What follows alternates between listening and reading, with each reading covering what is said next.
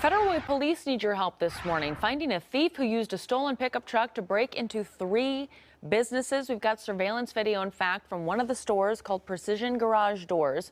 You can see a dark blue pickup truck ramming into the building last Friday. It's one of the three stores hit in the Business Park Plaza.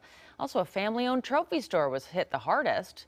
Damages to their building costing about $20,000. And the suspect got away with an engraver, cash, laptops, even name brand coats. And the owner tells us she's at a loss for words.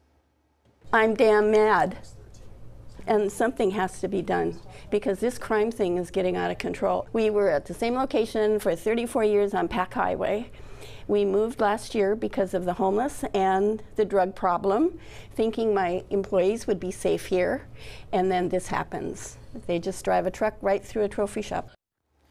Well, investigators say they soon found the truck in Tacoma, but they still do not have their suspect at this point.